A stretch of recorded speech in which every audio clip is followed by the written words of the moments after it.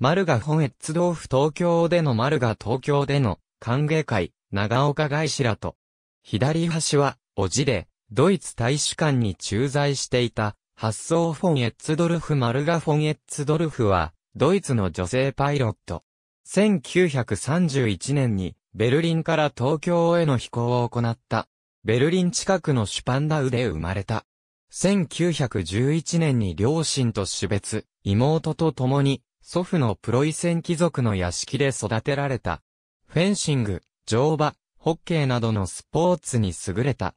1927年12月に、航空学校での4ヶ月の訓練の後、第一次世界大戦後のドイツで女性で二人目のパイロットのライセンスを得た。ルフトハンザで最初の女性の副パイロットとなり、ベルリンとブレスラウやベルリンとシュトゥットガルト、バーゼルの航路での旅客機に登場した。1929年にグライダーのライセンスを得た。1930年に祖父の援助でユンカース A50 を購入し、ジュニアと名付けた。広告飛行や乗客を乗せたり、曲技飛行を行った。宙返りや背面飛行を得意とした。ドイツで最初の女性の曲技飛行大会に参加し、4位となった。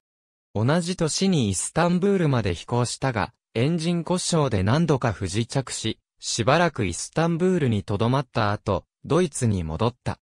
燃料タンクを増設し次の長距離飛行の準備を行い、1930年11月14日、ベルリンを出発し、マドリード、バーゼル、リオンを飛び、12月6日に、モロッコのラバトで給油し、カナリア諸島まで飛行した。キと、地中海で悪天候に遭い、シチリア島に緊急着陸した。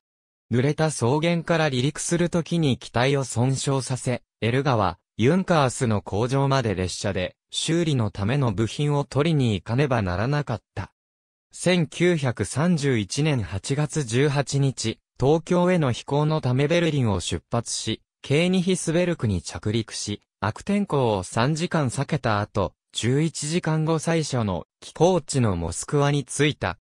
ボルガ川に沿って、チャイラーで東京への飛行をする英国の女性パイロット、エミー・ジョンソンの取材するために待つ記者に出会い、単独飛行で東京に飛行するエルガが知られることになった。翌日大河川を越え、バイカル湖に着いた。次に、新陽に着陸し、日本の入国の許可を待つために1日泊まり、朝鮮半島では2回着陸し、日本海を越えるために給油を行った。夕暮れまでに、広島に到着。1931年8月29日、12日間かけて、何千という人々に歓迎されながら、4日前に、正式開場したばかりの羽田飛行場へ到着した。日本に6週間滞在し、機体のオーバーホールを行った後、帰国の途に着いたが、友人の住むタイのバンコクに寄港した後、機体の故障で、80メートルの高さから墜落し、マルガも負傷し、1月ほどタイの病院に入院した。機体も失われ、マルガは旅客機で帰国することになった。